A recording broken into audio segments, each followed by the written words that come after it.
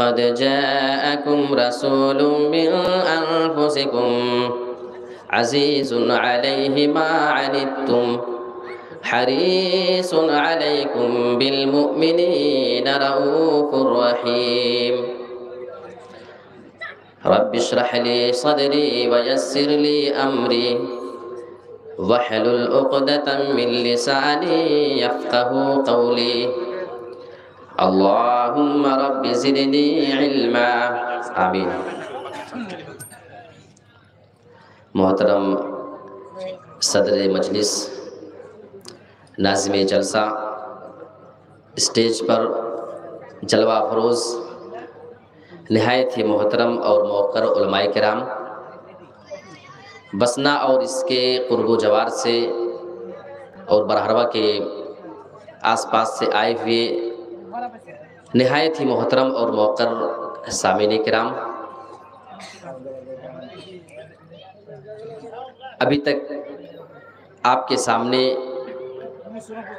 बहुत से कराम ने क़ुरान और हदीस की रोशनी में नहायत ही बेहतरीन ख़िताब किया। आपने उर्दू तकरीर भी समात की। बंगला ज़बान में भी आपने बहुत ही बेहतरीन तकरीर सुनी। ये और बात है कि मैं पूरी बात तो नहीं समझ रहा था, बंगला तो मुझे पूरी नहीं आती है। लेकिन थोड़ी बहुत या कुरान की आयतों को सुन करके ये ज़रूर लग रहा था कि मुझसे पहले के ख़तीब ने आपके सामने और इस तरीके से और भी पहले जो जिन्होंने ख़िताब किया तो वो रमज़ान के मुतालिक आपके सामने कुछ बातें कर रहे थे। आज मैं आपके सामने जिस मौजू को लेकर के हाजिर हुआ हूँ वो मौजू है इस्लाम की अच्छाइयाँ, इस्लाम की खूबियाँ।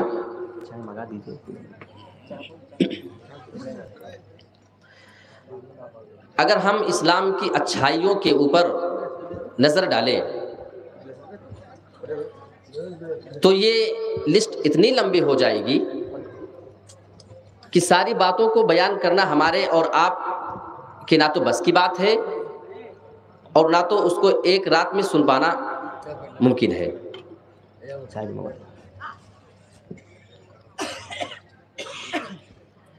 उनमें से कुछ चीज़ों को मैं आपके सामने रख सकता हूँ। और जो सबसे पहली चीज़ आपके सामने मैं रखूँगा उनमें से, वो अच्छे अखलाक के बारे में रखूँगा। इसलिए कि हमारे इस्लाम के अंदर अच्छे अखलाक की बहुत अहमियत है। अगर हमारा और आपका ये इस्लाम आज गैरों तक दूर दूर तक इतना फैला हुआ है तो वो इस्लाम हमारे नबी सल्लल्लाहु अलैहि वसल्लम के अच्छे और उम्दा अखलाक की वजह से फैला है। मोजज़े को देख करके इस्लाम नहीं फैला, ये बात आप नोट कर ले।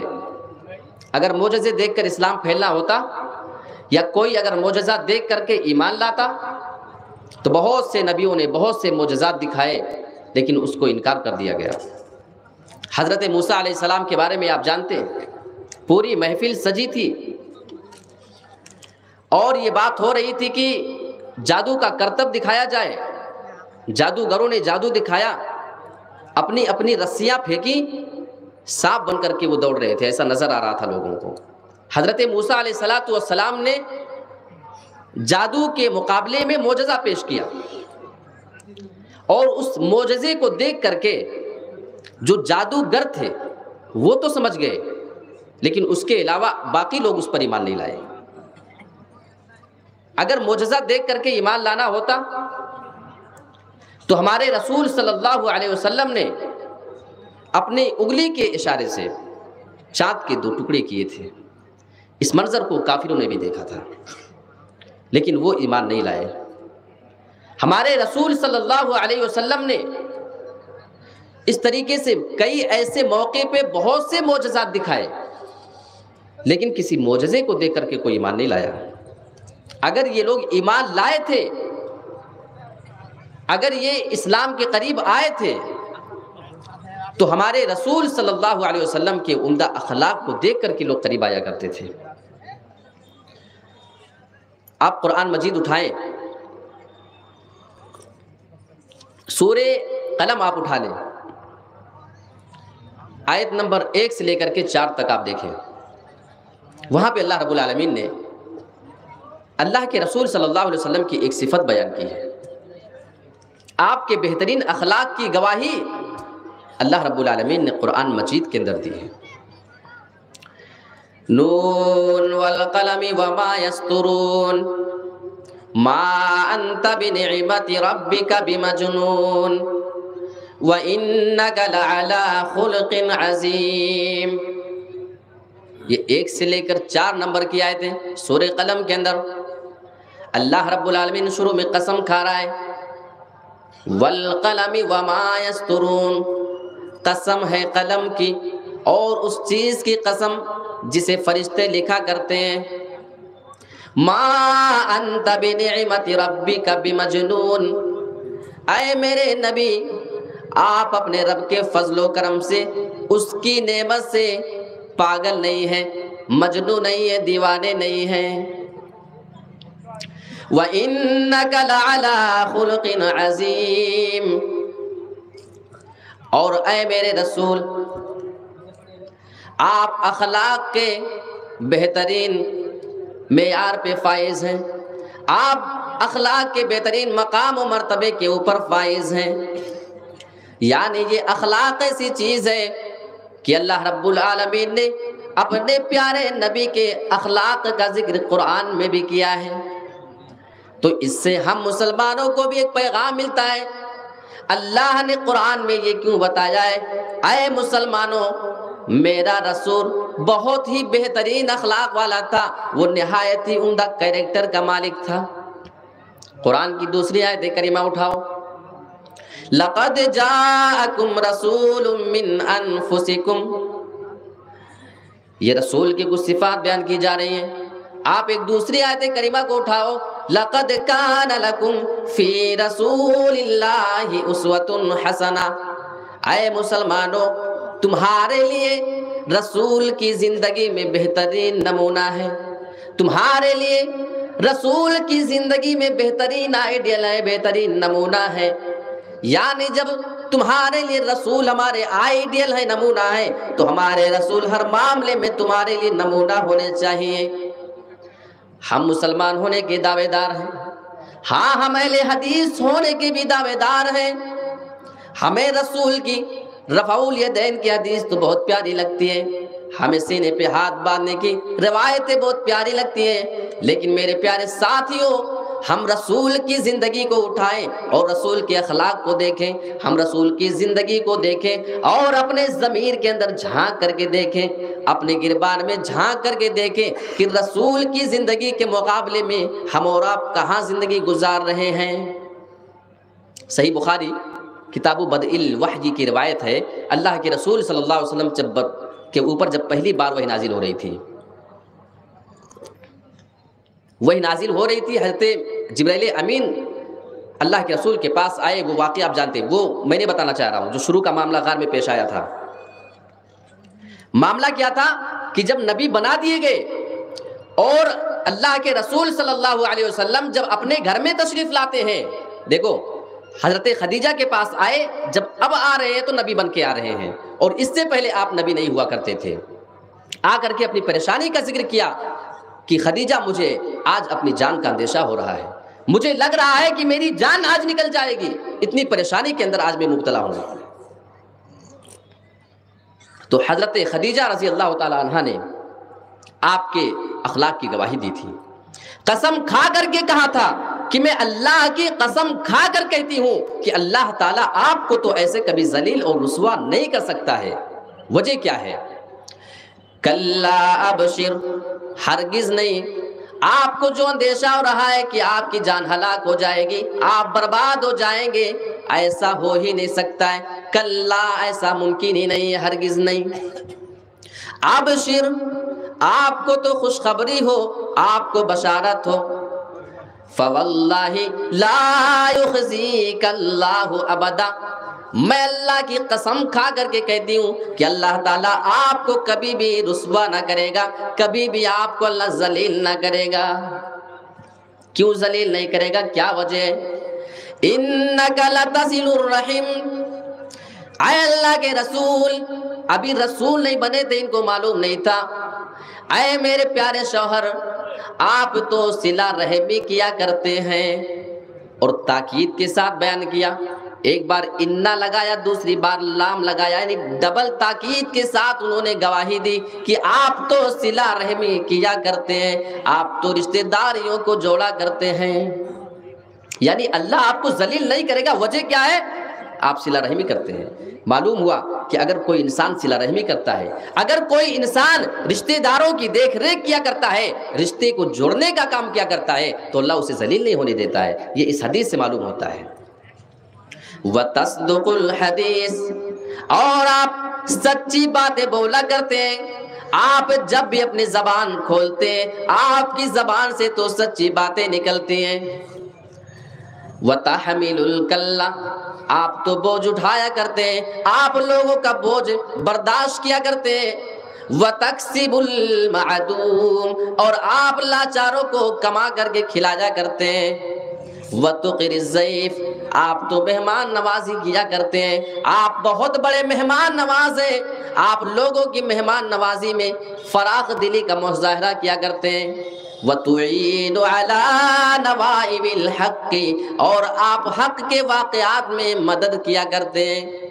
हक वाले की तरफदारी किया करते हैं। अल्लाह के रसूल, इतनी बड़ी बड़ी खूबियाँ आपके अंदर मौजूद हैं, और आप ये कहते हैं कि मुझे अपनी जान की हलाकत का अंदेशा है। मैं अल्लाह की कसम खा सकती हूँ कि अल्लाह आपको जलील और रसुआ ना करेगा। ये सही बुखारी की रवायत है। आप अंदाज़ा लगाओ कि अल्लाह के रसूल का अखलाक कितना बुलंद था। ये बात हो रही है रसूल के नबी बनाए जाने से पहले। ये तो हज़रत खदीजा रज़ी अल्लाह तह की गवाही है। आप कह सकते हैं कि वो तो आपकी बीवी थी और हर बीवी अपने शोहर की तारीफ़ करती है। अगर आपको ये लगता है तो आओ कुफार कुरेश का मामला उठा करके देख लो। अल्लाह के रसूल जब नबी बनते हैं, नबी बनने के बाद आपके ऊपर ये आयत नाजिल होती है कलबीन आए मेरे रसूल, आप अपने करीबी रिश्तेदारों को डराइए। अल्लाह के रसूल सफ़ा पहाड़ी के ऊपर चढ़ते हैं। आपने आवाज़ लगाई अय कुफार कुरैश अय कुरैश वालों, आपकी आवाज़ सुनने के बाद सारे कुरैश के लोग इकट्ठा हो जाते हैं। आपने एक सवाल कर लिया मैं तुमसे एक सवाल आज यहाँ पे करना चाहता हूँ। अगर मैं तुम्हें अभी खबर दे दूँ, मैं तुम्हें बताऊँ कि इस पहाड़ी के पीछे घुड़सवारों की फौज है, घोड़ों की फौज है, जो तुम्हारे ऊपर बहुत जल्दी हमला करने वाली है। ये भी सही बुखारी की रवायत है। अगर मैं तुम्हें ये खबर दूँ तो क्या तुम मेरी बात की तस्दीक करोगे या नहीं? तुम मुझे सच्चा मानोगे या मुझे झूठा मानोगे? ये काफिर लोग हैं, सुनिएगा। वहाँ तो अल्लाह के रसूल की बीवी थी। कोई ये कह सकता है कि एक बीवी अपने शौहर की तारीफ़ करे तो कोई बड़ी बात नहीं।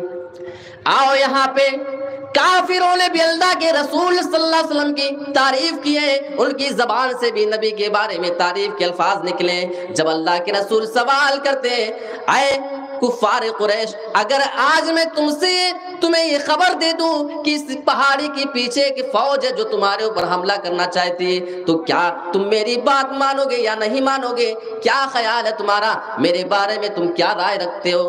तो जानते हैं, सारे लोगों की जबान से एक ही अल्फाज निकले थे, मा जर्रबना इल्ला सिद्का। अय मोहम्मद, अभी वो आपको रसूल मानते ना थे। वो जानते क्या कहते हैं? सिद्का। हमने तो आपके बारे में आपकी चालीस साल की ज़िंदगी देखी है। आपका बचपन हमारे दरमियान गुजरा है। आपकी जवानी हमारे पास गुजरी है। अभी तक आपको हमने कभी भी किसी मामले में झूठ बोलते नहीं पाया है। ये नबी का कैरेक्टर है। ये नबी की ज़िंदगी का मामला है जो काफिरों ने गवाहियाँ दी है। मेरे प्यारे साथियों, लेकिन आज हम अपने किरदार को देखें। आज हमारी ज़िंदगी का कौन सा ऐसा दिन गुजरता है, जिसके अंदर हम और आप झूठ न बोले। यहाँ हमारे रसूल के बारे में काफिरों ने भी गवाही दिए अय मोहम्मद, तू जब भी अपनी जबान खोला करता है, अपनी जबान से हमेशा तू सच बातें बोला करता है। और आज हमारे बारे में, हम मुसलमानों के बारे में मुसलमानों से गवाही ले लो। वो क्या कहेंगे?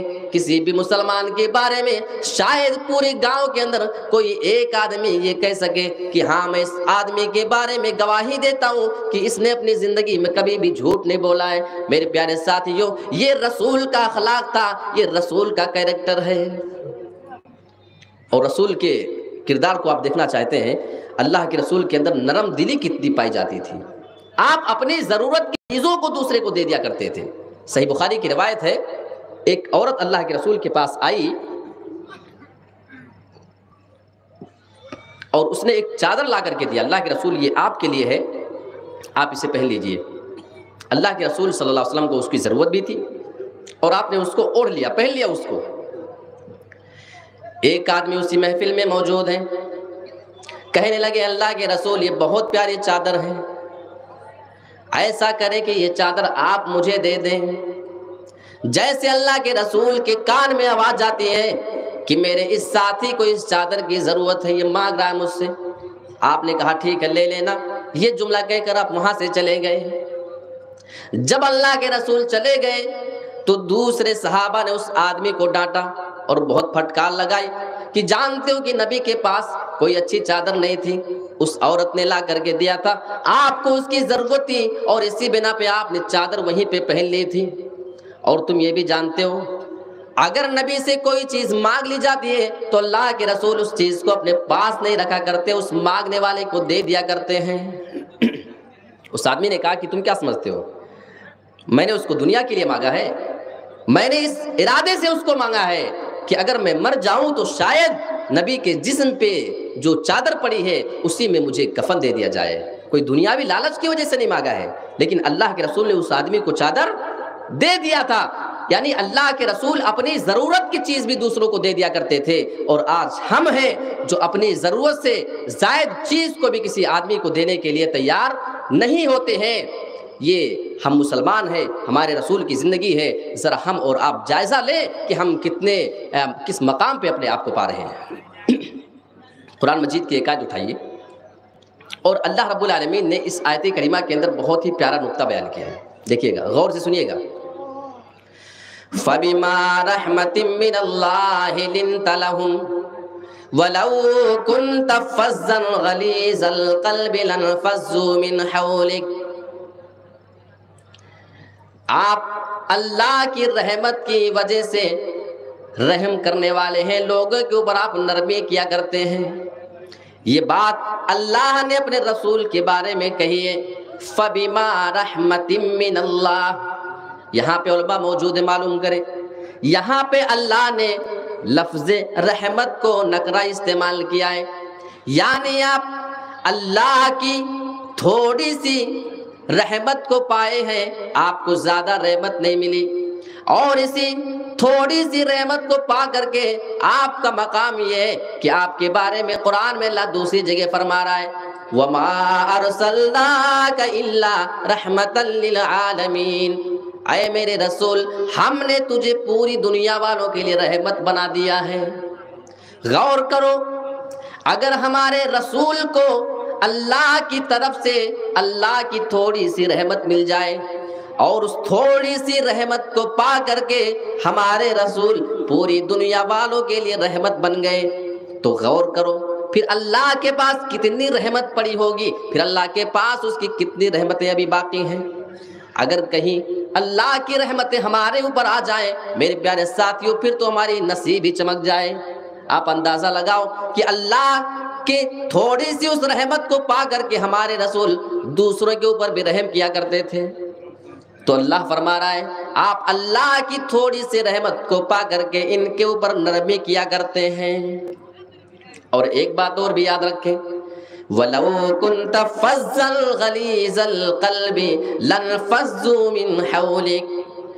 मेरे रसूल, अगर आप बदजबान होते, अगर आप सख्त दिल होते, आप दिल के सख्त आदमी होते, आपकी अगर जबान अच्छी ना होती, लन तो आपके पास ये जो सहाबा बैठा करते हैं, आपकी महफिलों में जो लोग आया करते हैं, ये आपके पास से उठ करके चले जाते हैं। अगर रसूल बस जबान हो जाए, अगर रसूल सख्त दिल हो जाए तो रसूल के पास से लोग उठ करके चले जाएँगे। फिर अगर आजकल के हम सख्त दिल हो जाएँ और सख्त जबान हो जाएँ तो अवाम हमारे पास कहाँ से बैठे? ये पॉइंट निकलता है। आप देखें, किसी आलिम से थोड़ा सा कोई बेचारा एक जाहिल टाइप का अगर वो सवाल कर ले तो उसके ऊपर तो पहले अपने इल्म का रोब जमाएँगे और ऐसी मंतिक जलेंगे ऐसे ऐसे दो चार अरबी और उर्दू के मुश्किल मुश्किल जुमले बोलेंगे कि उसके दिमाग में कुछ नहीं घुसेगा। फिर पूछेंगे, समझे? बोलेगा, साहब, कुछ नहीं समझा। फिर डांट के भगा देंगे कि जब जानते हो मेरी बात तुमको समझ में नहीं आती है और सवाल करने आ जाते हो। अल्लाह कह रहा है, मेरे रसूल, अगर आप जबान हो जाते, आपके दिल में अगर सख्ती आ जाती तो ये आपके पास जो बैठे हुए लोग हैं, ये आपके पास से चले जाते मालूम होता है, हम उलमा की ये ज़िम्मेदारी है कि हम अपनी ज़बान को नरम बनाया करें, हम अपने दिल को नरम बनाएँ। यही वो दो चीज़ें हैं जिसको देख करके आवाम हमारे पास आती है। हाँ अगर हम अपनी ज़बान का गलत इस्तेमाल करना शुरू कर दें, या हमारे ही अवाम नहीं, बल्कि दूसरे मसलक वालों के लिए भी यही मामला है। हम अगर अपनी जबान से, अपने स्टेज से बैठकर किसी को गाली देने लगे तो कोई हमारे जलसों में, हमारे प्रोग्राम की सुनने आएगा। मेरे प्यारे साथियों, ये कुरान में अल्लाह फरमा रहा है आए मेरे रसूल, अगर आप जबान हो जाएँ, अगर आप सख्त दिल हो जाएँ तो यह आपके पास से उठ करके चले जाएँ। और ये अल्लाह रब्बुल आलमीन का फजलो करम था। आप रसूल की ज़िंदगी को देखें, आपकी नरमी का आलम तो ये, सही बुखारी के अल्फाज है। अल्लाह के रसूल फरमाते मैं नमाज़ पढ़ाने के लिए खड़ा होता हूँ और मेरा इरादा होता है कि मैं नमाज़ लंबी कर दूँगा। लेकिन जब मेरे कान में बच्चों की रोने की आवाज़ आने लगती है, मैं बच्चों के रोने की आवाज़ सुन लेता हूँ तो मैं अपनी नमाज़ को हल्की कर देता हूँ, मुख्तसर कर देता हूँ। क्योंकि मैं जानता हूँ, अगर एक बच्चा रोएगा जिसको उसकी माँ मस्जिद में लेकर के आई नमाज़ पढ़ने के लिए तो उस माँ की नमाज़ खराब हो जाएगी, उसकी नमाज़ ना हो पाएगी। इसलिए मैं नमाज़ को हल्की कर देता हूँ। ये हमारे रसूल की नरमी रहमत है। तो इससे मालूम हुआ कि औरतें भी रसूल के ज़माने में मस्जिद में आया करती थी। एक मसला मालूम होता है। और दूसरा मसला ये मालूम होता है कि इमामों को नमाज़ मुख्तसर पढ़ानी चाहिए। एक और बुखारी की रवायत, एक आदमी अल्लाह के रसूल के पास आता है, शिकायत करने लगा, अय अल्लाह के रसूल, मैं फजर की नमाज़ में देर से नमाज़ पढ़ने जाया करता हूँ, क्योंकि मेरे यहाँ जो इमाम है, वो तो नमाजें बहुत लंबी लंबी पढ़ाया करता है। इतनी लंबी नमाज़ मैं नहीं पढ़ सकता हूँ। अल्लाह के रसूल में ताखिर से जाता हूँ। अल्लाह के रसूल ने जब उस आदमी के अल्फाज सुने, आप नाराज़ हो गए लोगों को इकट्ठा करके आप नसीहत करना शुरू कर दिया। और इस रिवायत के रावी कहते हैं, इस हदीस के बयान करने वाले कहते हैं, मैंने उस मौके पर रसूल को जितना नाराज़ होते हुए देखा, मैंने रसूल को जितना गुस्से में देखा है नसीहत करते हुए, उतना मैंने कभी किसी नसीहत के मौके पर नाराज़ नबी को नहीं देखा। और अल्लाह के रसूल ये फरमा रहे थे तुम बहुत से लोगों को मुतनफिर कर रहे हो, उनको भगा रहे हो। जब कोई तुम में से इमामत करे तो चाहिए कि नमाज़ को वो हल्की पढ़ाया करे, क्योंकि नमाज़ में बूढ़े होते हैं, नमाज़ में बीमार भी होते हैं, नमाज़ में ऐसे लोग भी होते हैं जिन होती है। मेरे प्यारे साथियों, इन सारी चीज़ों का भी ख्याल करना है। हमारा इस्लाम पूरी कौम को एक साथ लेकर के चलने की तालीम देता है। ऐसा नहीं कि सिर्फ़ जवान है तो जवानों की देखी जाएगी। नहीं और कुरान मजीद की एक और आयत उठा लिया। वहाँ पे अल्लाह रब्बुल आलमीन ने अपने रसूल की कुछ सिफत बयान की है। लक़द जाअकुम रसूलुम मिन अनफुसिकुम अजीजुन अलैहि मा अनित्तुम हरीसुन अलैकुम बिल मुमिनीन रऊफुर रहीम। ऐ मुसलमानों तुम्हारे पास एक ऐसा रसूल आया है। मिन अनफुसिकुम, जो तुम्हारी ही जिन्स से है, तुम्हारी ही नस्ल से है। तो इस आयत करीबा से मालूम हो गया कि अल्लाह के रसूल बशर थे। क्योंकि ये बशर के जिन्स से आए तो बशर ही होंगे, कभी नूर नहीं हो सकते हैं। अगर नूर होते तो इंसानों की नस्ल से उनकी जिन्स से कैसे होते? मिन अनफुसिकुम अजीजुन अलैहि मा अनित्तुम आए लोगों, तुम्हारे ऊपर जो भी परेशानी आती है, तुम्हारे ऊपर जो तकलीफ़ आती है, उस नबी के ऊपर वो परेशानी काफ़ी ज़्यादा दुश्वार गुजरती है, उसके ऊपर वो परेशानियाँ शाख गुजरती हैं। हरीसुन अलैकुम वो तुम्हारे फ़ायदे के बड़े लालची हैं। बिल रहीम। हाँ मोमिनों के साथ उनकी रहमत अलग है। वैसे तो अल्लाह ने ये वाजी कर दिया है कि वो रहमत पूरी दुनिया वालों के लिए बना करके भेजे गए हैं। लेकिन जब मोमिनों की बात हो, मोमिनों के साथ उनका रहम करम अलग हुआ करता है। हम मोमिनों के बारे में बात ना करेंगे। आओ जरा गैर मुस्लिमों के बारे में, रसूल के किरदार को देखते हैं और रसूल के रहम करम को गैर मुस्लिमों के बारे में देखते हैं। मौका फतेह मक्का का। अल्लाह के रसूल अपने सहाबा के साथ मक्का के अंदर फातिहाना अंदाज में दाखिला कर रहे हैं और सारे काफिर डरे सहमे बैठे आज ये मुसलमान मक्का को फतेह कर चुके हैं। यहाँ ऐसे लोग भी आए हैं जिनको हमने मारा था, जिनकी बीवी बच्चों को हमने यहाँ से निकलने पर मजबूर कर दिया था। जिनकी ज़मीन जायदाद पे हमने कब्जा कर लिया था। आज ये मुसलमान हमारे पास आ रहे हैं। आज इनकी हुकूमत है। आज ये हमको छोड़ेंगे नहीं। एक एक जुर्म का ये हमसे बदला लेने वाले हैं। ये यकीन काफिरों को खुद था और ज़ाहिर सी बात है, इंसाफ का तकाजा तो यही था। तुमने हमें मारा, हम तुम्हें मारेंगे। और एक सहाबी रसूले साथ भी नबी वकास जोश के मारे ये कह रहे थे काफिरो, तुमने हमें मक्का से निकलने पर मजबूर कर दिया था। आज हम आठ साल के बाद मक्का में आए हुए हैं और आज हुकूमत हमारे हाथ में ऐ काफिरों। जिन जिन लोगों ने हमारे साथ गलत सलूक किया था, आज तुम तैयार रहना। आज तो तुम्हारी बोटी बोटी कर दिए जाने का दिन है। मलहमा, आज तो टुकड़े टुकड़े कर दिए जाओगे। और इस अल्फाज को जनाब मोहम्मद ने सुन लिया। आपने फरमाया, काफिरो तुम्हें डरने की कोई ज़रूरत नहीं है।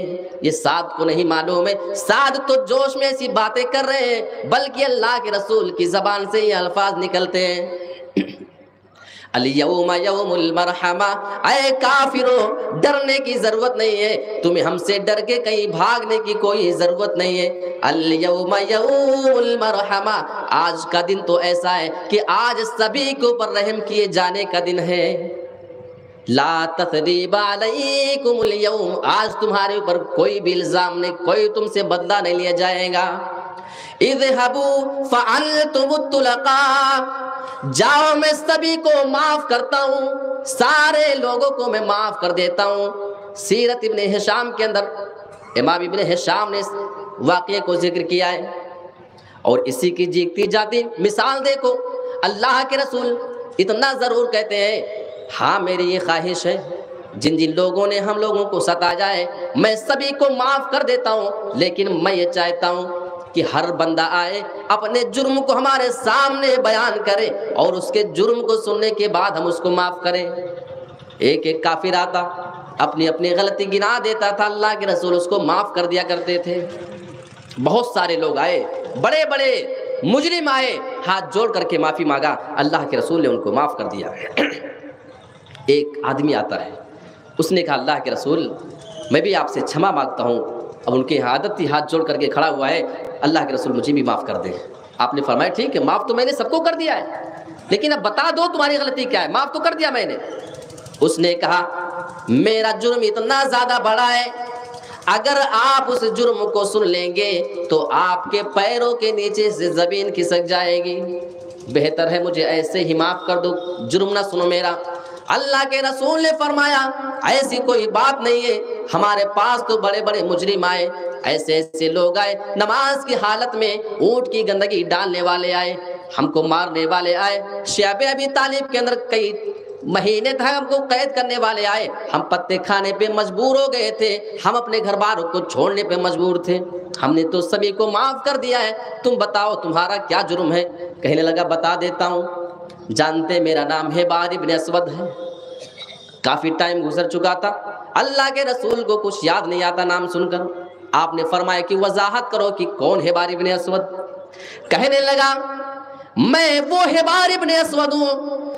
जो आपकी बेटी का कातिल है, आपकी बेटी जैनब जब ऊँट पर बैठ करके जा रही थी, मैं निशाना लगा रहा था, मारना चाह रहा था। ऊँट के ऊपर मैं निशाना लगा रहा था, लेकिन मेरी तीर खता कर गई थी और गलती से जा करके मेरी वो तीर आपकी बेटी के पेट में चुभ गया था।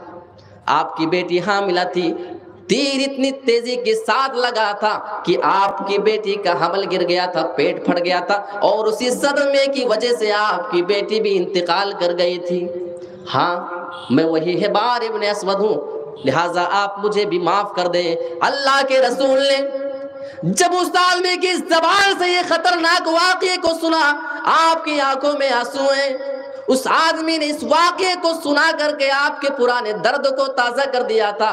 अल्लाह के रसूल फरमाते हैं, अभी तक मुझे मक्का के अंदर, मुझे मदीना मक्का मिला करके, जो सारे पूरी मेरी ज़िंदगी है, सारे के सारे दर्द को, सारी तकलीफ़ को, जो मेरे ऊपर अभी तक परेशानी आई, सारी परेशानियों को अगर एक कर लिया जाए, तराजू के एक पलड़े में रख दिया जाए, और उस दिन जब मेरी बेटी मेरे सामने अपने दम को तोड़ रही थी, वो इंतकाल कर गई थी, उस टाइम के दर्द को अगर तराजू के दूसरे पलड़े में रखा जाए तो वो दर्द मेरी पूरी ज़िंदगी के तकलीफ़ के ऊपर भारी पड़ जाएगा। लेकिन हाँ तू मेरे पास माफ़ी की उम्मीद लेकर के आया है। आज मैं तुझे माफ़ करता हूँ। अय है बारे असवद, जा जा, मैंने तुझे भी माफ़ कर दिया है।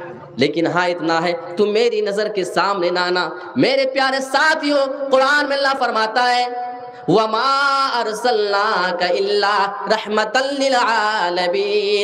मेरे रसूल, हमने तो तुझे पूरी कायनात के लिए रहमत बना करके भेजा है। ये रहमत है। वाकई बहुत से आप सुनते हैं, कभी पेपर में, कभी न्यूज़ चैनल पे, कि पीएम साहब ने अपने ऊपर जूते फेंकने वाले को माफ़ कर दिया, है नहीं? किसी आदमी ने उनके सामने ईंटें फेंक दिए, पत्थर फेंक दिए और उन्होंने महफिल में ऐलान कर दिया कि जाओ, हमने इस मुजरिम को माफ़ कर दिया। ये माफ़ी बड़ी आसान है। माफ़ी असल ये है कि आपके घर में किसी बंदे का कोई कत्ल करके आपके सामने आ जाए, जिगर की बात है कि उस आदमी को माफ़ कर दिया जाए।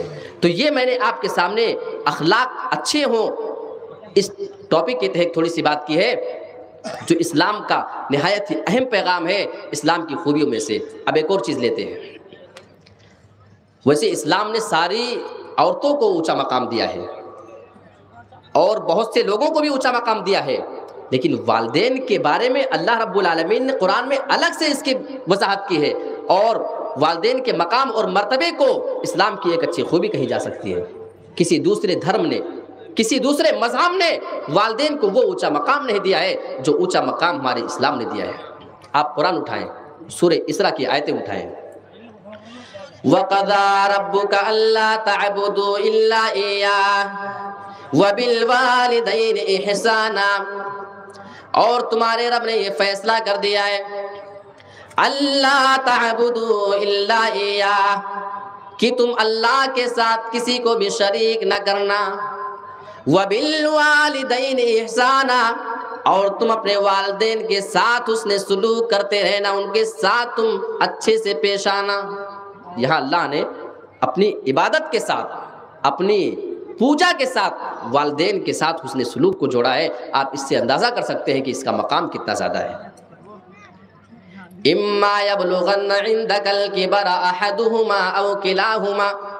इस आयत करीमा के अंदर आपको बहुत बड़ा नुकता बताने जा रहा हूँ।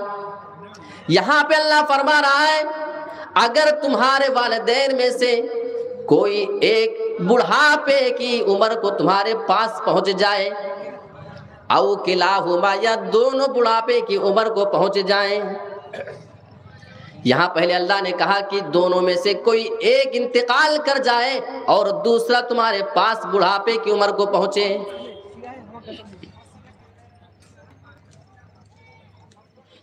क्या है?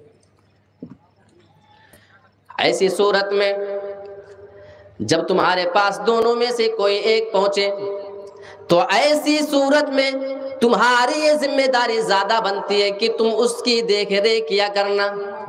क्योंकि अगर दोनों दोनों रहते हैं अगर मियाँ बीवी दोनों बुढ़ापे की उम्र को एक साथ पहुँचते हैं दोनों ज़िंदा रहते हैं तो दोनों आपस में तकलीफ़ को बांट लिया करते हैं दोनों आपस में अपने दुख दर्द को शेयर कर लिया करते। हैं लेकिन अगर एक का इंतकाल हो जाए, जो पूरी ज़िंदगी एक दूसरे के साथ रहा करते थे, चालीस साल, तीस साल, पचास साल तक आपस में एक साथ वो रहा करते थे, आज एक जोड़ा चला गया है तो मेरे प्यारे साथियों, अल्लाह फरमा रहा है कि तुम्हारे सहारे की उसको और ज़्यादा ज़रूरत है। यहाँ पे शायद कोई ऐसा हो, किसी की बीवी का इंतकाल हो चुका हो, या कोई औरत हो जो मेरा बयान सुन रही हो शायद उसके शोहर का इंतकाल हो चुका हो। आप जरा उनसे जाकर के पूछें, वो अपनी ज़िंदगी में कितनी कमी महसूस करती हैं? वो अपनी ज़िंदगी में कितनी खला महसूस करती हैं? इसी चीज़ को अल्लाह फरमा रहा है, अगर बुढ़ापे की उम्र में सिर्फ़ एक ही पहुँचे तो तुम्हारी हुस्न सलूक का वो और भी ज़्यादा मुस्तक है। औ के लाहुमा या अगर दोनों तुम्हारे पास बुढ़ापे की उम्र को पहुँचे जाया करे तो तुम दोनों की भी देख रेख करते रहना। फला तकुल्लहुमा उफ़िन वला तरहरहुमा। उनसे तुम जब भी बात करना तो उफ तक अपनी जबान से न कहना, वला तनहर हुमा उनको डांटना नहीं। ये इस्लाम तालीम दे रहा है। वकुल्लहुमा कौलन करीमा। जब उनसे बात किया करो तो नरम अंदाज में, नरम लहरे में बात किया करो। उनसे कभी डांटो नहीं, कभी गलत अंदाज में बात मत किया करो। लेकिन आज गलत अंदाज में बात करना तो छोड़िए। कितने ऐसे लोग आपको मिल जाएँगे जो अपने वालदेन को तमाचे मारने वाले मौजूद हैं। ये हमारे इस्लाम को मानने वाले हैं। आप मालूम कर लें, वो होंगे पाँचों वक्त के नमाजी, वो होंगे पूरे रमज़ान के रोज़े रखने वाले, उन्होंने अपनी ज़िंदगी में हज किए होंगे, लेकिन हाँ वो अपने बाप की गिरबान को पकड़ा करते हैं, वो अपनी माँ को गालियाँ दिया करते हैं। मेरे प्यारे साथियों, कुरान में अल्लाह कहता है, तुम्हें उफ तक कहने की भी इजाज़त नहीं है। तुम्हारी गैरत कहाँ बढ़ जाती है? जब तुम अपने वालदेन को गालियाँ दिया करते हो और उनके साथ तुम इस तरीके से बदतमीजी वाला सलूक क्या करते हो।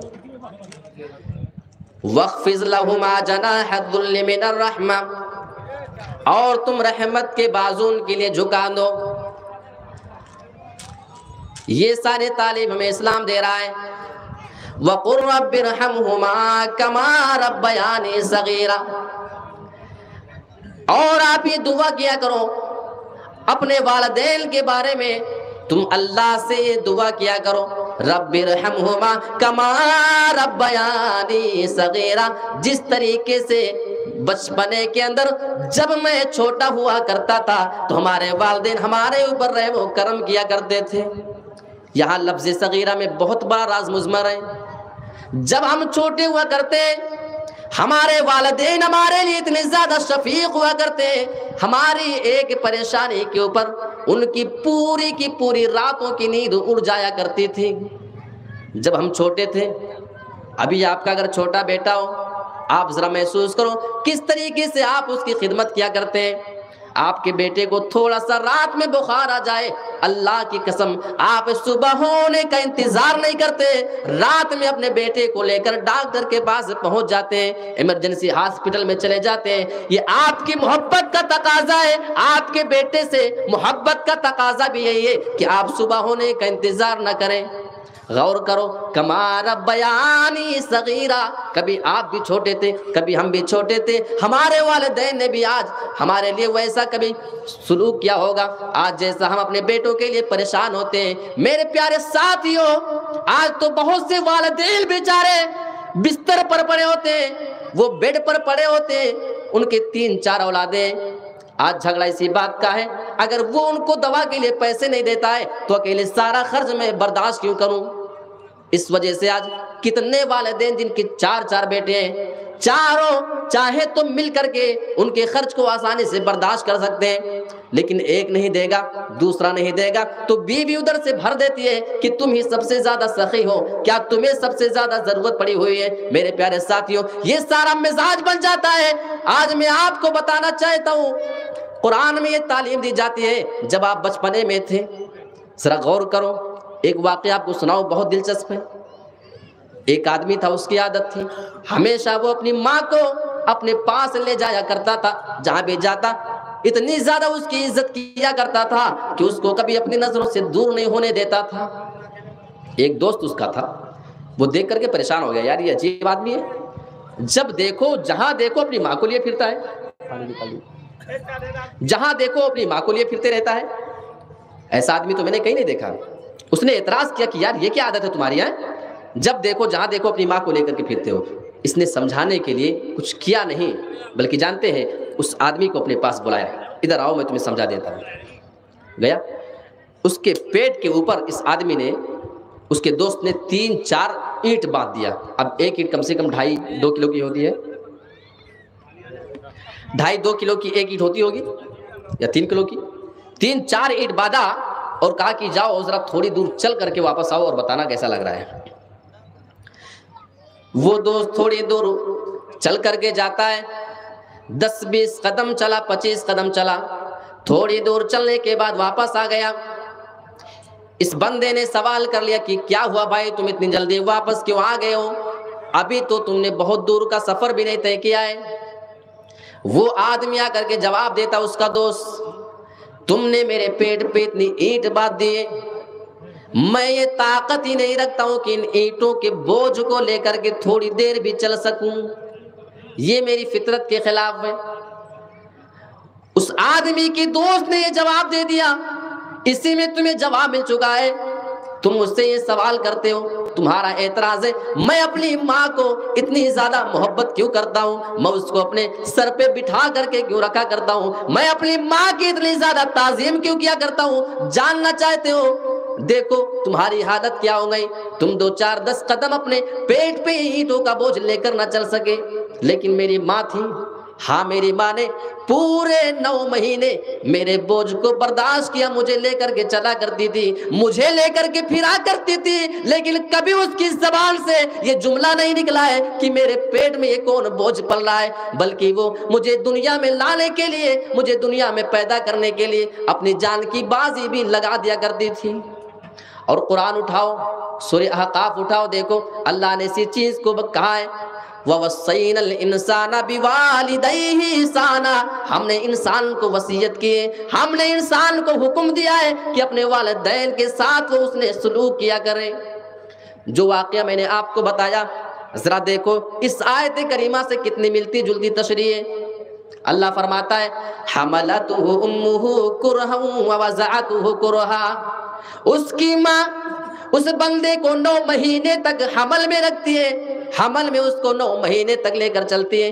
अल्लाह ने इसको कुरहन कहा है। यानी जब वो हमल की हालत में होती है, जब उसको अपने पेट में लेकर के चला करती है, ये इंतहाई परेशानी का आलम होता है। ये इतनी तकलीफ़ की चीज़ होती है कि अय मर्दो, तुम इसे महसूस नहीं कर सकते हो। इसको अल्लाह ने महसूस किया है। अल्लाह ने उसकी वजाहत की है कि ये इतनी परेशानी का आलम हुआ करता है। आपके घर में बहुत सी औरतें प्रेगनेंट होंगी, या होती होंगी, आप देखो। उनका उठना बैठना चेंज हो जाता है। खाने पीने में डॉक्टर उनको तमाम तरह की परहेजी बता देता है। अपने मनपसंद का नहीं खा सकती हो। और यहाँ से बात आगे निकल करके जब विलादत तक की बात जाती है, जब विलादत तक की बात चली जाती है, आप जब हॉस्पिटल जाते हैं, आजकल के तो अक्सर डिलीवरी कीड़े आ जा रहे कीजिए फेंक दो आजकल हॉस्पिटल में डिलीवरी होती है, जब आप डिलीवरी के लिए जाते होंगे और ऑपरेशन वगैरह का अगर मैटर हो जाए तो पहले आपसे सिग्नेचर लिया जाता है। देखा कभी आपने? ये सिग्नेचर क्यों लिया जाता है? क्यों आपसे पहले दस्तखत करा ली जाती है? कभी गौर किया आपने? आपका ये सिग्नेचर, आपका यह दस्तखत इस बात की दलील होती है। ये ऑपरेशन होने जा रहा है। जिस औरत को तुम हॉस्पिटल में लेकर के आए हो, जो औरत अपने बच्चे को नौ महीने तक पेट में रखने के बाद उसको जन्म देने आई है, वैसे नौ महीने इसने काफ़ी परेशानियाँ उठाई है। अब इसका ऑपरेशन होने जा रहा है। इस ऑपरेशन के बीच में इस माँ का इंतकाल हो सकता है। कोई गारंटी नहीं है कि फिर इसकी जान ही बच जाए या ना बचे। लिहाजा साइन कर दो, ताकि हॉस्पिटल के ऊपर कोई आपत्ति ना आए, कोई एक्शन न लिया जाए। आप सिग्नेचर करते तभी ऑपरेशन थिएटर में उस माँ को लेकर के जाया जाता है। मेरे प्यारे साथियों, उस माँ ने अपनी, अपने कानों से कितने से वाकया सुने कि फला औरत ऑपरेशन हो रहा था, बच्चा पैदा हो रहा था। बच्चा पैदा करने के वक्त उस माँ का भी इंतकाल हो गया है। हाँ ऐसे बहुत से वाकयात उसने सुने हुए हैं। ये सारी चीज़ें जानती है। ये मामला मेरे साथ भी तो पेश आ सकता है। मुझे ऑपरेशन के दौरान मेरा इंतकाल भी हो सकता है। और कितने ऐसे लोग, कितनी ऐसी औरतों को मैं जानता हूँ अगर मामला जरा सीरियस है, अपने घर में कुछ लोगों को वसीयत कर जाते हैं, अगर इस दरमियान हमारा इंतकाल हो जाए तो मेरे शोहर की तुम दूसरी शादी करा देना, बीच में तुम रोड़ा नहीं बनना, क्योंकि इसमें उसकी कोई खता नहीं। मेरे प्यारे साथियों, जरा गौर तो करो, उस बच्चे को पैदा करने के लिए वो माँ अपने जान की बाजी लगा रही है। हाँ इसी को अल्लाह फरमाता है, वो वजात कुरहा। और जब एक माँ अपने बेटे को पैदा करती है, जब उसको जन्म दिया करती है तो जन्म के वक्त पे वो काफ़ी परेशानी का सामना किया करती है। लेकिन यही नौजवान, जो आज चलने फिरने के लायक हो गया है, उसकी शादी हो चुकी है। ये नौजवान कभी कभी अपने वालदेन से ये सवाल कर लेता है कि तुमने हमारे लिए किया ही क्या है? नहीं सुना आपने? कितने लोगों को मैं जानता हूँ। आप भी जानते होंगे। अपने वालदेन के ऊपर तमाचे मारने वाले आप देखे होंगे नहीं? वालदेन को घर से निकाल करके अपना अलग घर में अपनी बीवी के साथ रहने वाले को आप जानते कि नहीं? देख लेना, आपके गाँव में कुछ लोग मिल जाएँगे। और सवाल करते हैं कि तुमने हमारे लिए किया ही क्या है?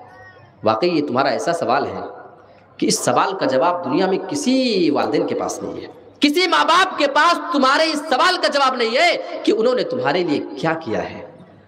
हाँ अगर जानना चाहते हो तो कभी तुम्हारी औलादें होंगी। वहीं से समझ लेना कि तुम अपनी औलाद के लिए क्या कर रहे हो, जितना तुम कर रहे हो। अल्लाह की कसम खा करके कहता हूँ कि उससे थोड़ा सा भी, एक रुपए के भी बराबर तुम्हारे वालदेन ने तुम्हारे लिए नहीं कम किया होगा, बल्कि हो सकता है इससे ज़्यादा ही किया सोचो ज़रा, कुरान की आयतों को उठाओ। हम कुरान की हरायत पे ईमान लाते हैं कि नहीं लाते हैं? अल्लाह कह रहा है ना कि एहसान के साथ पेश आओ, उन्हें उफ तक ना करो।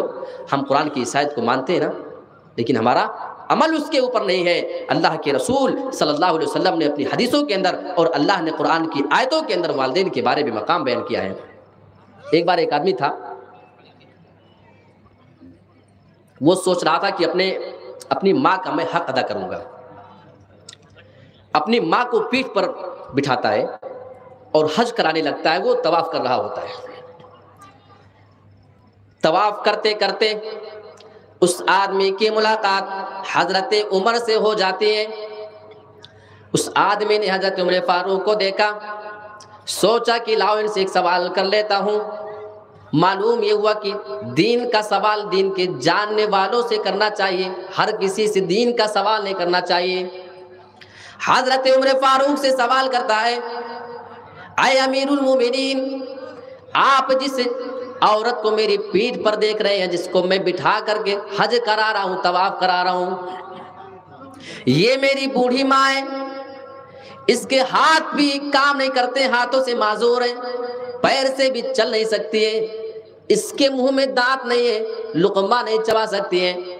मैं लुकमा अपने मुँह में चबा करके, खा करके इसके मुँह में लुकमा डालता हूँ उसको निगल लिया करती है, इतनी खिदमत मैं इसकी करता हूँ। आए मोमिनीन, ये पैर से चल करके बाथरूम नहीं जा सकती है, टॉयलेट नहीं जा सकती है, पेशाब और पैखाने के लिए अपनी ज़रूरत नहीं पूरी कर सकती है, ये बिस्तर पर लेटरिन कर दिया करती है।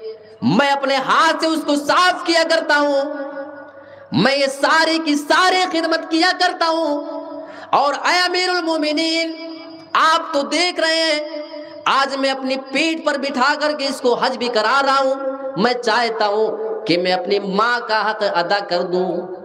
अमीरुल मोमिनीन, इतना कुछ मैं अपनी माँ के लिए करता हूँ तो क्या अभी तक मैंने अपनी माँ का हक अदा किया या नहीं किया? हज़रत उम्र फारूक फरमाते नहीं, अभी तुमने अपनी माँ का हक अदा ही नहीं किया। उस नौजवान ने कहा है इतना करने के बाद हक अदा नहीं हुआ। बोले, नहीं, नौजवान सवाल करता है, अभी मैं कितनी खिदमत करूँ अपनी माँ की कि उसका हक अदा हो सके?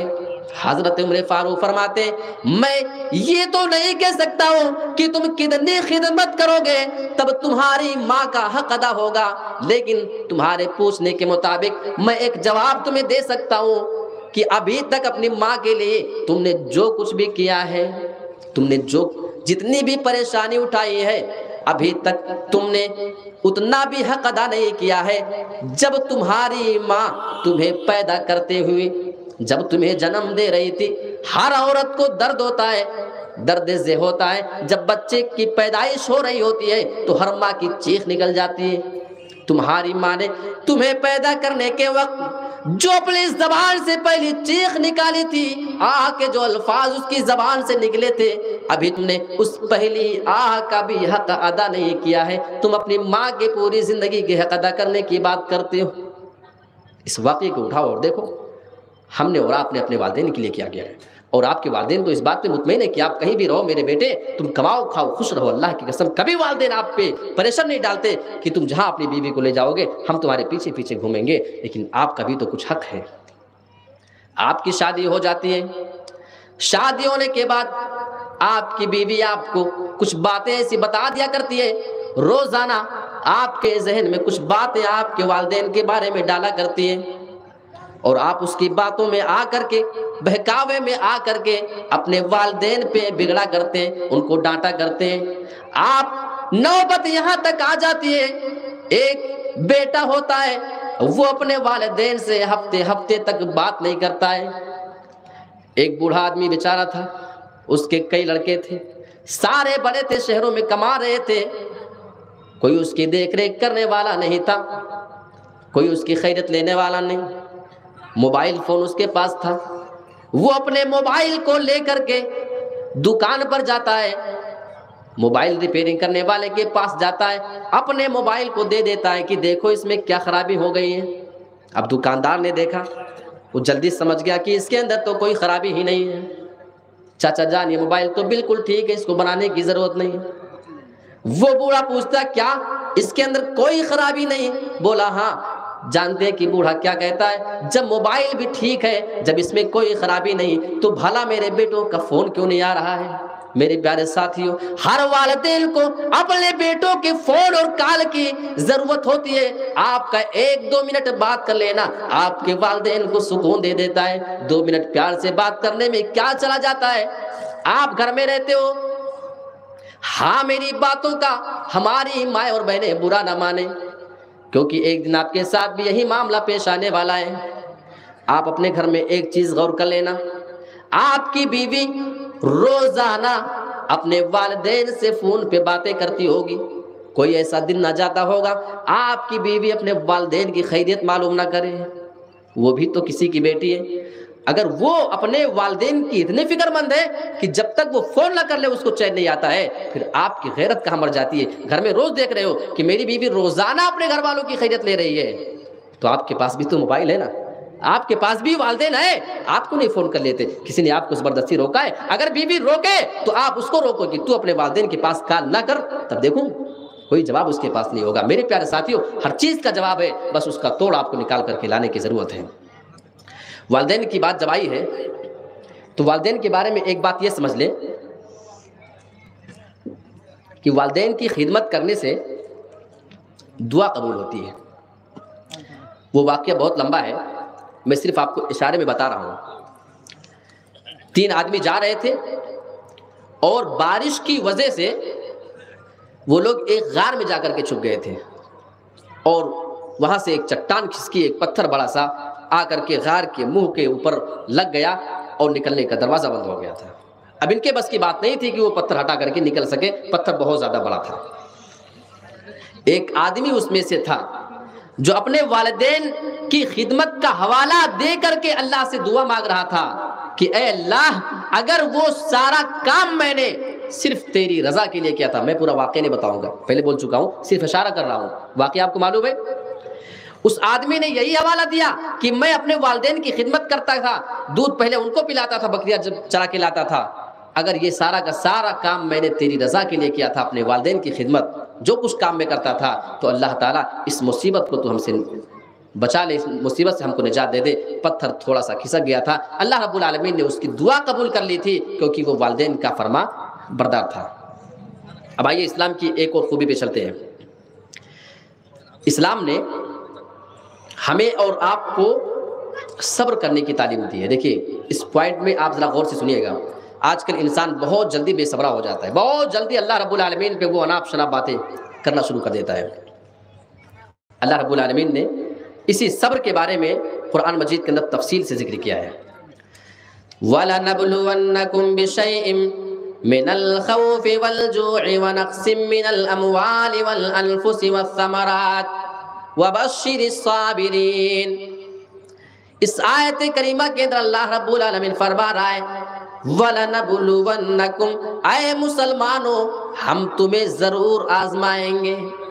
विषय इन चंद चीज़ों के ज़रिए से हम तुम्हें आजमाएँगे, बगैर आजमाए छोड़ेंगे नहीं। हमारे आजमाने का अंदाज अलग हो सकता है।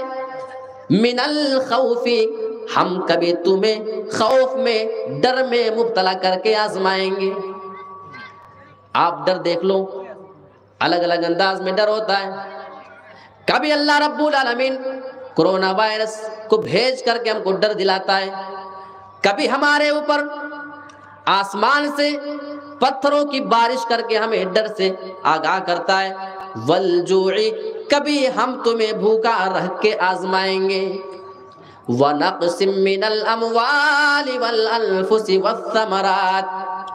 मेरे बंदो हम कभी तुम्हारी जाने छीन करके भी आजमाएँगे हम तुम्हें मौत दे करके भी आजमा सकते हैं हम कभी तुम्हारे बेटे को मार सकते हैं तुम्हारे सामने तुम्हारी बीवी को वफात दे सकते हैं वल अनफुस हम तुम्हारी जाने छीन करके भी आजमा सकते हैं वसमरात और तुम्हारे बागों में, तुम्हारे फलों में कमी करके भी तुम्हें आजमाएँगे।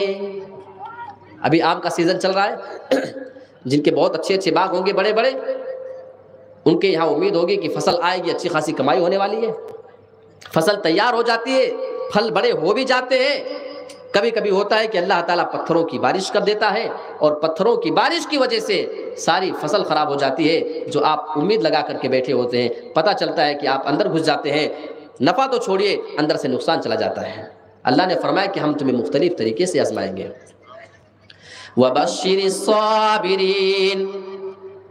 हम जब किसी बंदे को आजमाएँ, किसी भी तरीके से अपने बंदों को आजमाएँ, और जो लोग इस चीज़ के ऊपर सब्र कर ले। वबशिर साबिरीन, आए मेरे रसूल, आप सब्र करने वालों को खुशखबरी सुना दे। आप सब्र करने वालों को बशारत सुना दीजिए। कौन सब्र करने वाले? अल्लदीना इदा असाबतहुम मुसीबा। जिन लोगों के पास कोई मुसीबत आती है, जिनके पास कोई परेशानी आया करती है, कालू इन्ना लिल्लाहि व इलैहि राजिऊन। जब मुसीबत आ जाया करती है, जब उनके पास कोई परेशानी आ जाया करती है, उनकी जबान से अल्फाज निकलते हैं, इन्ना हम सभी अल्लाह की अमानत है, और हम सभी को अल्लाह ही की तरफ़ लौट करके जाना है। जानते हो इसका फ़ायदा क्या है? उलाइका व उलाइका हुमुल मुहतदून। यही वो लोग हैं जिनके ऊपर अल्लाह की तरफ़ से सलवात नाजिल होती है। व रहमा, अल्लाह की रहमत भी नाजिल होती है। व उलाइका हुमुल मुहतदून, और यही लोग हिदायत पाने वाले हैं। ये फ़ायदा है सब्र करने का, जिनके ऊपर कोई मुसीबत आए और मुसीबत पे अगर सब्र कर ले जाए तो ये फजीलत भी है। सही मुस्लिम की वो रवायत उठाइए। हज़रत उम सलमा रज़ी अल्लाह तला कहती हैं कि एक बार मैंने अल्लाह के रसूल को ये फरमाते हुए सुना था। मैंने ये कहते हुए अल्लाह के रसूल को सुना था कि अगर किसी आदमी पे कोई मुसीबत और परेशानी आए और उस मुसीबत के मौके पे अगर वो बंदा सब्र कर लेता है और उसकी ज़बान से ये अल्फाज निकलते हैं, अल्लाह के रसूल ने वो अल्फाज सिखाए हैं, आप इनको याद कर लें इन्ना व इन्ना इलैहि राजिऊन। अल्लाहुम्मा अजुरनी फ़ी मुसीबती वखलुफ ली खैरम मिनहा। हम सभी अल्लाह की अमानत है और हम सभी को भी अल्लाह की तरफ़ लौट करके जाना है। अल्लाहुम्मा अजुरनी फ़ी मुसीबती, अय अल्लाह तू हमारी मुसीबत में हमें सब्र दे दे। वखलुफली खैरम मिनहा, और हमें इससे बेहतरीन चीज़ तो नसीब कर देना, इससे अच्छी चीज़ नसीब कर देना। अगर कोई ये दुआ पढ़ लेता है, अल्लाह के रसूल फरमा रहे कि अल्लाह ताला उस बंदे को उससे अच्छी चीज़ नसीब कर देता है। हज़रत उम सलमा कहती हैं, मैंने अल्लाह के रसूल की ज़बान से ये हदीस सुनी हुई थी। थोड़े दिनों के बाद उनका अपना बयान है कि मेरे प्यारे शोहर का इंतकाल हो जाता है। अबू सलमा इंतकाल कर जाते हैं। जब उनका इंतकाल होता है, हज़रत उम सलमा कहती है, मेरे शोहर के इंतकाल के बाद मैंने वही बात याद की। रसूल की हदीस मुझे याद थी कि रसूल कह रहे थे, अगर कोई वो दुआ पढ़ लेता है तो उससे ज़्यादा बेहतरीन चीज़ उसे मैं दे देता हूँ। लेकिन यहाँ तो मेरे शोहर का इंतकाल हो गया है, यहाँ मेरे हस्बैंड का इंतकाल हो गया है। अगर ये दुआ मैं पढ़ लेती हूँ तो मुझे इससे बेहतरीन चीज़ क्या मिल सकती है? भला एक बीवी का शौहर मर जाए, उसके शौहर की जगह पे उसे चीज़ क्या मिलेगी? यही उनको भी डाउट चल रहा था, लेकिन उन्हें रसूल की हदीस पे भरोसा था। कहती है, मैंने रसूल की बात मानते हुए दुआ पढ़ ली। इन्ना लिल्लाहि राजिऊन। अल्लाहुम्मा अजुरनी फ़ी मुसीबती वखलुफ ली खैरम मिनहा। मैंने ये दुआ पढ़ लिया। अल्लाह ने इस दुआ की बरकत से इसकी फजीलत से मुझे इनाम ये दिया। इनाम ये मिला। थोड़े दिनों के बाद जब मेरी इद्दत गुजर गई, अल्लाह के रसूल सल्लल्लाहु अलैहि वसल्लम ने मेरे लिए निकाह का पैगाम भेज दिया था और मेरी शादी अल्लाह के रसूल से हो गई थी। कभी उन्होंने ख्वाब में भी नहीं सोचा होगा। कि मेरी शादी रसूल से हो जाएगी, अब इससे बड़ी खुशनसीबी इस दुनिया के अंदर किसी औरत के लिए हो ही नहीं सकती है कि वो रसूल की बीवी बन जाए। ये है रसूल की हदीसों पे अमल करने का नतीजा। तो सब्र करने वाले को ये मकाम और फजीलत भी अल्लाह रब्बुल आलमीन देता है। अब आइए, इस सब्र के मुतालिक से अल्लाह के रसूल अपनी बेटी को क्या वसीयत कर रहे हैं? सही बुखारी की रवायत है। हज़रत ज़ैनब रज़ी अल्लाह तहा है उनके बच्चे की तबीयत बहुत ज़्यादा ख़राब चल रही थी। एक कासिद को भेजा कि जा करके मेरे अब्बू को बुला लाओ और कह दो कि मेरे बेटे की तबीयत बहुत ख़राब है। अल्लाह के रसूल सल्लल्लाहु अलैहि वसल्लम ने उस पैगंबर को ये कह करके भेज दिया कि जाओ मेरी बेटी को सब्र की तालीम दे देना और कह देना कि जो कुछ अल्लाह लेता है, वो अल्लाह का होता है और अल्लाह रब्बुल आलमीन जो अता करता है, वो भी अल्लाह का होता है। हज़रत ज़ैनब दोबारा उस कासिद को भेजती है। जा करके मेरे बाप से कह दो, तुम्हें अल्लाह का वास्ता है। आना ही पड़ेगा। मेरे बच्चे की तबीयत बहुत ज़्यादा ख़राब है, बिल्कुल मामला ठीक नहीं। जब दोबारा पैगाम जाता है, अल्लाह के रसूल अपने चंद साहबा के साथ तशरीफ़ ले आते हैं। जैसे अल्लाह के रसूल आते उस बच्चे को अल्लाह के रसूल के गोद में दे दिया गया। जब अल्लाह के रसूल की गोद में बच्चे को दिया जाता है उस बच्चे का आखिरी वक्त चल रहा था करीब उलमर्ग में मुबतला है। अल्लाह के रसूल उसको अपनी नज़रों के सामने देख रहे हैं और हदीस के अल्फाज हैं, उस बच्चे की सांस बिल्कुल उखड़ रही थी, उसकी जान बिल्कुल निकलने वाली थी, आवाज़ ऐसे निकल रही थी हिचकियाँ ऐसे बद रही थी, जैसे मशकीजे के मुँह से कोई आवाज़ निकलती है। जब ये मंजर अल्लाह के रसूल अपने आँखों से देखते हैं। आप रोने लगते हैं, आपकी आँखों में आँसू आ जाते हैं। वहीं पे हज़रत साथ मौजूद है। कहने लगे, अल्लाह के रसूल, ये क्या मामला है? आप भी रो रहे हैं, आपकी आँखों में आँसू आ चुके हैं। अल्लाह के रसूल फरमाते हैं, हादिही रहमतुन जालल्लाहु फ़ी कुलूबि इबादी। आए मेरे दोस्त, ये मैं नौहा की वजह से नहीं, मातम की वजह से नहीं, बल्कि ये तो वो रहमत है जो अल्लाह ने अपने हर बंदे के दिल में डाल दिया है। मैं उसी रहमत की वजह से अपनी आँखों से आँसू बहा रहा हूँ। इस वाक्य को देखो, अल्लाह के रसूल किस तरीके से सब्र की तालीम दे रहे थे अपनी बेटी को? और अल्लाह के रसूल के बेटे का भी मामला आ गया था। ताजुब की बात है कि अल्लाह के रसूल के जितने भी बेटे पैदा हुए, जो नर थे जो मुजक्कर थे, वो कोई बड़ा नहीं हो सका। सभी का बचपन में इंतकाल हो गया था। अब हिकमत अल्लाह बेहतर जाने, लेकिन कोई भी अल्लाह के रसूल का नर औलाद बड़ा नहीं हुआ। बचपन में सभी का इंतकाल हो गया। हज़रत इब्राहिम के मौत के मौके पे हज़रत अल्लाह के रसूल सल्लल्लाहु अलैहि वसल्लम की आँखों से आँसू गिर रहे थे। आप उनके पास मौजूद हैं। बिल्कुल जान निकलने वाली है। अल्लाह के रसूल अपनी जबान से ये फरमा रहे थे इन्नल आइन तदम वल कल्ब यहजन। आए मेरे बेटे इब्राहिम, तेरी जुदाई की वजह से मेरी आँखों में आँसू हैं। वल कल्ब हजन और मेरा दिल भी गमगीन है। मेरे दिल को काफ़ी सदमा पहुँच रहा है। वला नकुलु इल्ला रब्बुना। इस मौके पे, इस मुसीबत के मौके पे मैं अपनी जबान से ऐसा कोई जुमला नहीं कहूँगा जिसकी वजह से मेरा परवरदिगार मुझसे नाराज़ हो जाए। हालाँकि मेरे बेटे सच ये वह इन्ना बिफिराकी का या इब्राहिम आए मेरे बेटे इब्राहिम, तेरी जुदाई की वजह से, तेरे इस जाने की वजह से आज मेरा दिल गमगीन बहुत है। आज मुझे तकलीफ़ काफ़ी पहुँची है, लेकिन ऐसे मौके पे मैं अपनी जबान जबान से ऐसा कोई जुमला ना कहूँगा जो हमारे रब को नाराज़ कर जाए। तो ये हमारे रसूल सब्र की भी तालीम दिया करते थे। किसी का इंतकाल हो जाए तो इस तरीके से भी इंसान को सब्र करना है। अब चूँकि ठंड काफ़ी बढ़ रही है, इसलिए कुछ बातें मैं एक और चीज़ बता करके अपनी बात ख़त्म करता हूँ। एक और चीज़ है, अदलो इंसाफ इस्लाम के अंदर बहुत ज़रूरी है। अदलो इंसाफ, आप कुरान मजीद की आयत करीमा उठाइए। और उस आयत के अंदर आप देखेंगे कि अल्लाह रब्बुल आलमीन ने इंसान को कैसे कैसे सब्र की तालीम दी है। वला यजरिमन्नकुम शनआन कौमिन अला अल्लाह तादिलु मुसलमानों, तुम्हें किसी कौम की दुश्मनी इस बात पर आमादा ना कर दे कि तुम इंसाफ करना छोड़ दो। किसी से आपकी दुश्मनी चल रही है, उसी दुश्मनी में पढ़ करके आप किसी के साथ न्याय ना करें, उसके साथ अन्याय करने लगे, उनके साथ आप जुल्म करने लगे, इस चीज़ से कुरान में अल्लाह ने रोका है। वला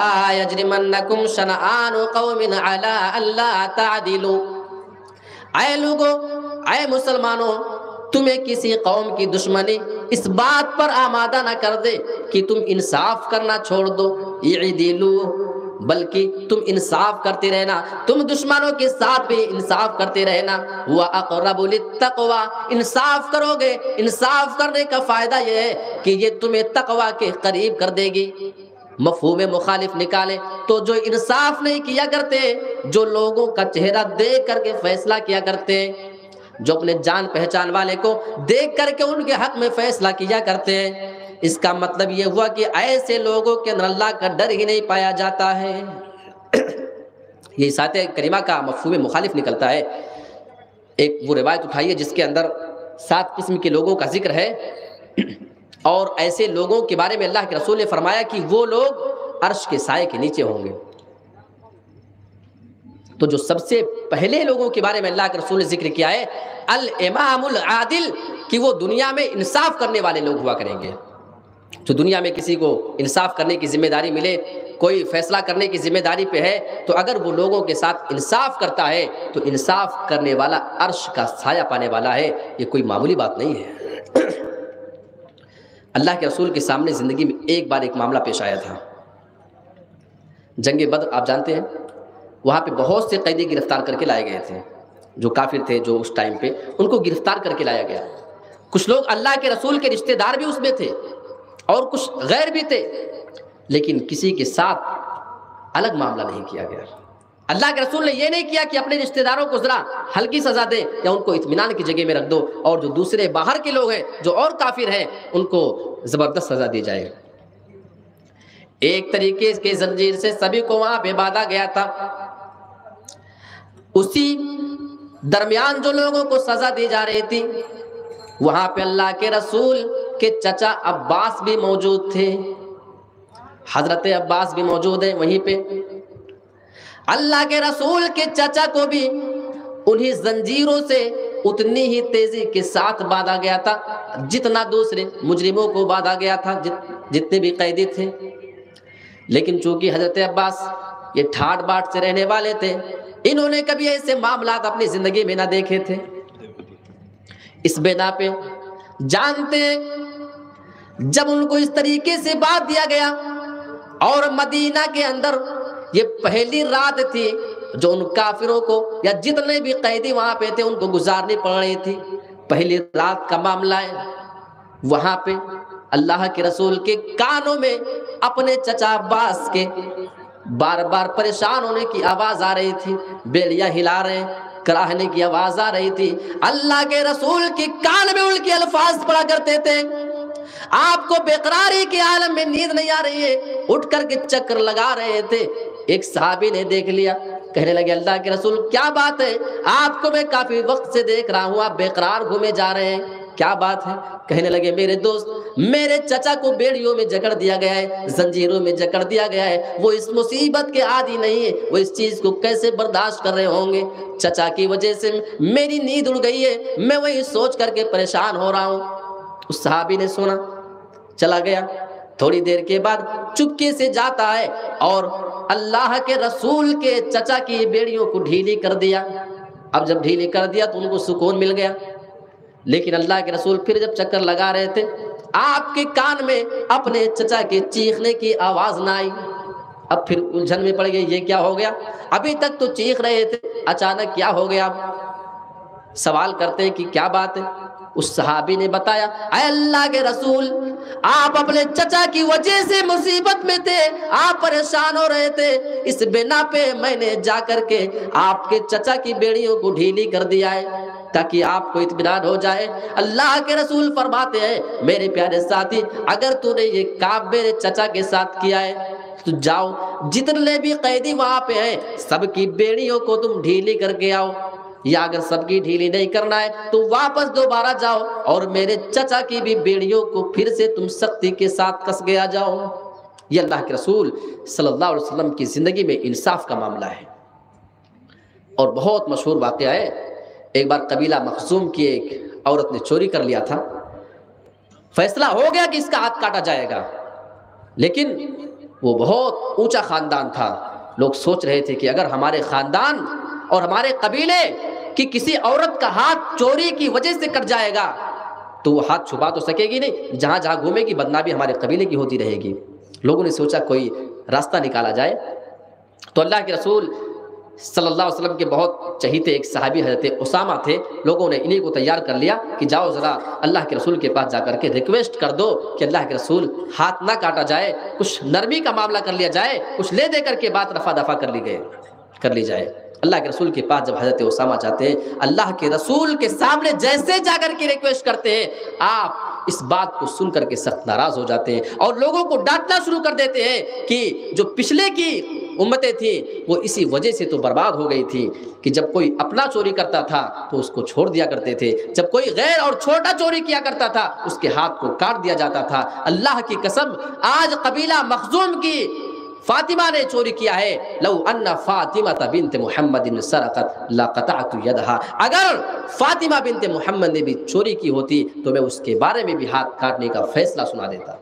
आप इसे कह सकते हैं कि हो सकता है कि रसूल ने यूँ ही कहा हो, आप इतना इंसाफ कहा करते? अगर ये वाकया किसी को ये शक में डाल सकता हो, मुसलमानों की नहीं, गैर मुस्लिम अगर एतराज़ करे तो ये वाक़ उनको सुना देना जो हज़रत अब्बास की बेड़ियों के बारे में अल्लाह के रसूल का मामला था। अगर उनकी बेड़ी ढीली कर दी गई है तो सारे काफिरों की बेड़ी ढीली कर दो या उनकी भी ढीली नहीं करना है तो इनकी भी वैसे कर दो जैसे सारे लोगों की है। तो ये अदल इंसाफ की भी तालीम इस्लाम देता है। एक और चीज़, आप हजरात चूँकि अपने यहाँ जो आपके यहाँ कब्रस्तान के लिए ताउन है, अल्हम्दुलिल्लाह, कितनी खुशनसीबी की बात है। उस जगह के लिए आपसे ताउन की अपील हो रही है, जहाँ हम सभी को जाना है है ना? वही तो वो जगह है कि जहाँ पे हमारी ज़मीन जो हो जाती है। अच्छा इसके बारे में नवाज़ देवंदी का एक शेर बहुत प्यारा है। जिनके लुटा चुका था मैं, जिन पर दुनिया की दौलतें जिन पर लुटा चुका था मैं, दुनिया की दौलतें उन वारिसों ने मुझको कफन नाप कर दिया। कफन भी आपको मिलेगा तो नाप तोल करके। आपको जो ज़मीन मिलेगी, जो जितनी गज ज़मीन आपको मिलेगी वही आपको अपनी मिलेगी। वो कब्रस्तान और वो कब्र, ये वो चीज़ें हैं, शायद अगर हमारे और आपके कुछ रुपये और पैसे से वहाँ पे कुछ काम आ जाए तो शायद जब हम उस कब्र के अंदर जाएँ तो हमारे वही वही अतियात, वही रुपये और पैसे हमारे लिए किसी काम आ जाए कब्र के अंदर। जिस दिन सारे लोग आपको आपको छोड़ करके चले आएँगे, अल्लाह की कसम, आपकी नेकी आपके साथ ज़रूर जाएँगी। और इसी सदका और खैरात के बारे में कुछ बातें बता करके बात ख़त्म कर दूँगा, क्योंकि ठंड का मौसम बहुत बढ़ रहा है।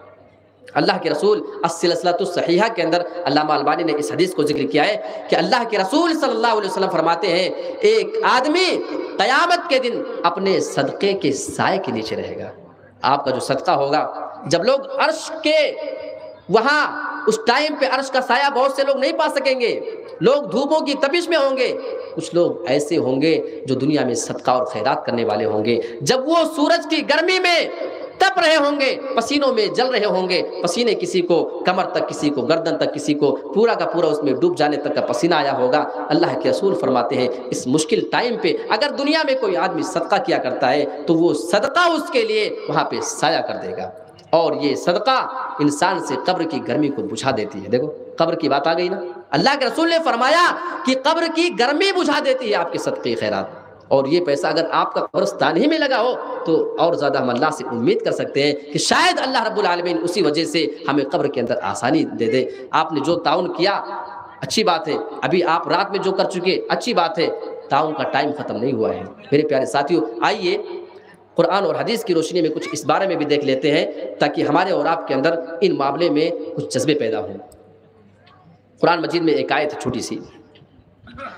लन तनालुल बिर्र हत्ता तुनफिकू मिम्मा तुहिब्बून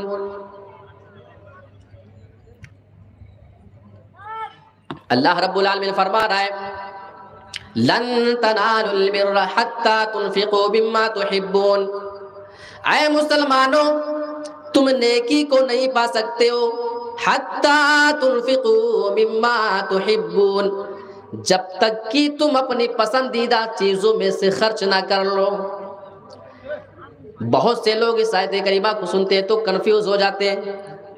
यानी उन्हें लगता है कि जब तक हम अपनी सारी पसंद की चीज़ ना खर्च कर दे, हम नेकी नहीं पा सकते। बात ऐसी नहीं। यहाँ पे मिम, जो मिन आया हुआ है, ये मिन यहाँ पे तबीज़ के लिए, यानी अपनी पसंदीदा चीज़ों में से जब तक तुम बाज चीज़ को ना खर्च कर दो। यानी आपको बहुत सी चीज़ें प्यारी है। बहुत सी चीज़ें आपको पसंद है उन पसंदीदा चीज़ों में से कोई एक चीज़ भी आप अगर अल्लाह के रास्ते में खर्चा कर दे तो आप नेकी को पा सकते हैं। इस आयत करीमा को मदीना के अंदर एक सहाबी है, हज़रत अबू तलहान सारी जो मदीना के अंदर बड़े मालदार आदमी हुआ करते थे। मालदारों के लिए कितना अच्छा मौका होता है। अल्लाह रब्बुल आलमीन मालदारों के ऊपर कितना बड़ा मेहरबान है। जी हाँ दौलत आजमाइश है तो दौलत आपको गरीबों के मुकाबले में आगे निकल जाने का ये मौका भी देती है।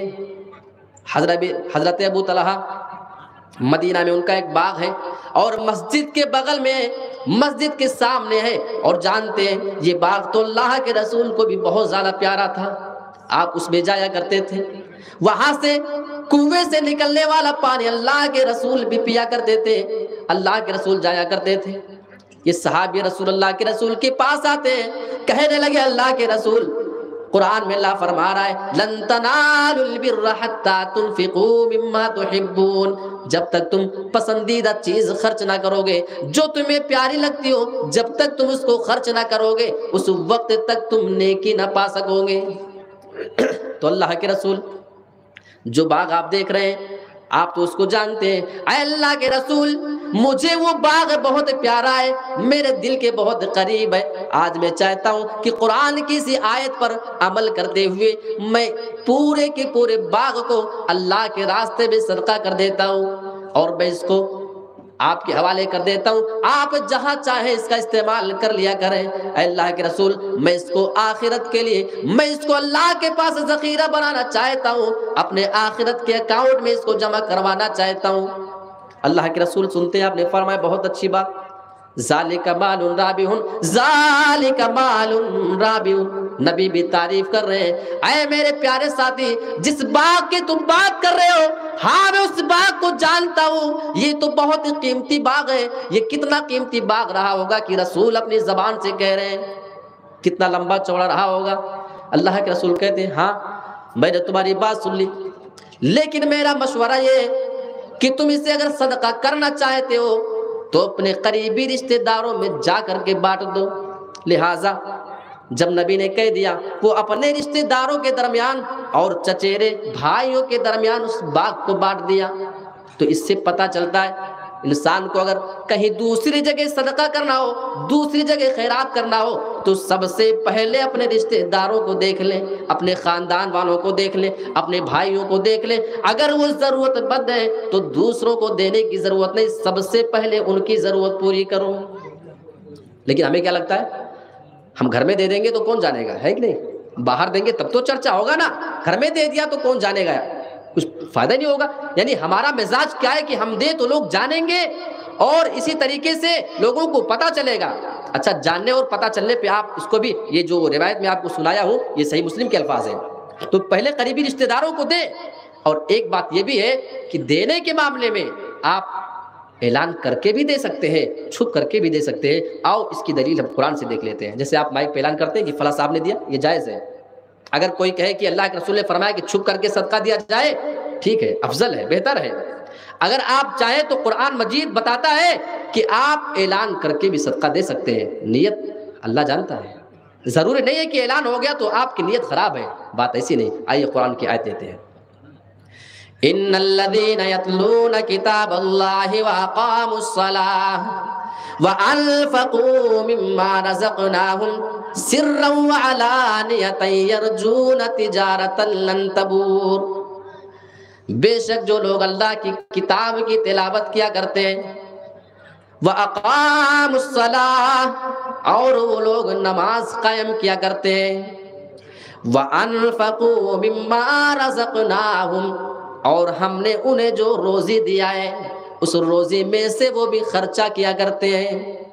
खर्च करने का दो अंदाज हो सकता है अलानियतन कभी वो छुपा करके देते, कभी वो ऐलान करके देते हैं। देखो, कुरान कह रहा है, कभी ऐलान करके दिया, कभी छुपा करके दिया तो आप ऐलान करके भी साल में आप अगर प्रोग्राम करा करके या इस शक्ल में आप वसूलना चाहते हैं तो कुरान से दलील है कि आप ऐलान करके दे सकते हैं। रही बात दिल की, नीयत की तो वो अल्लाह जानता है। जो लोग ऐलान करके या छुप करके दिया करते हैं, यरजून तिजारत तबूर ये ऐसी तजारत कर रहे हैं, ये ऐसा कारोबार कर रहे हैं, ये ऐसा बिज़नेस कर रहे हैं, लन तबूर, जिसमें कभी नुकसान ना होगा। यहाँ पे लन के अल्फाज है, जिसकी मीनिंग आप इंग्लिश में जाएँगे तो नेवर के माने होते हैं, यानी हरगिज नहीं, किसी कीमत पे नहीं। ये ऐसा कारोबार है, जिस कारोबार के अंदर कभी कोई नुकसान ना होगा। नुकसान का इसमें चांस ही नहीं है। तो अल्लाह के रास्ते में देना। आप दुनिया में बिज़नेस किया करते हैं। आपकी कपड़े की दुकान है, चप्पल की दुकान है आपके बहुत सारे दुकानें चलती है शोरूम है। आप दुनिया में तजर्बा करते हैं कि कभी आपका मुनाफा होता है, कभी आपका नुकसान हो जाया करता है, लेकिन अल्लाह यह फरमा रहा है, अरे मेरे बंदो, अगर तुम मेरे रास्ते में खर्च करोगे, ये तुम्हारा खर्चा करना हमसे बिज़नेस है। यानी कि तुम ये कारोबार हमसे कर रहे हो, मेरे प्यारे साथियों, अगर तुम अल्लाह के साथ ये कारोबार करोगे, अल्लाह के साथ तुम बिज़नेस करोगे तो अल्लाह रब्बुल आलमीन तुम्हें मुनाफा ही देगा। हाँ ये तुम्हें आखिरत में ज़ख़ीरे की शक्ल में मिल जाएगा। अल्लाह के रसूल ने फरमाया, एक आदमी को क़यामत के दिन लाया जाएगा और उस आदमी को एक तरफ़ इशारा करके दिखा दिया जाएगा, वो देखो खजूरों की पूरी ढेर, बहुत ज़्यादा ढेर लगी होगी। अल्लाह कहेगा, मेरे बंदे, ये सारी की सारी वो खजूरें हैं जो दुनिया में तूने सरका किया था। वो बंदा कहेगा अय अल्लाह, मैंने तो कभी इतनी खजूर सदका ही नहीं किया था। अल्लाह फरमाएगा, मेरे बंदे, एक मर्तबा, तूने मेरी रजा के लिए, मेरी खुशनोदी के लिए, एक फला बंदे को तूने आधी खजूर सदके में दिया था। वो कहेगा हाँ अल्लाह, वो तो याद है। थोड़ी तो दिया था, इतनी ज़्यादा कहा दिया था? अल्लाह फरमाएगा, मेरे बंदे, तूने वो आधी खजूर मेरी रजा के लिए दिया था, मुझे खुश करने के लिए दिया था। तू तो सदका करके खामोश हो गया, चला गया था। लेकिन मैंने तेरे इस खजूर को रोका नहीं। मैं उसकी परवरिश करता रहा, मैं उसको बढ़ाता रहा। और आज ये सारी की सारी ढेर हो चुकी है। मेरे प्यारे साथियों, यानी मालूम ये हुआ कि आप थोड़ा देंगे तो थोड़े की वजह से बहुत ज़्यादा मिलेगा। और कुरान इसी चीज़ की गवाही देता है।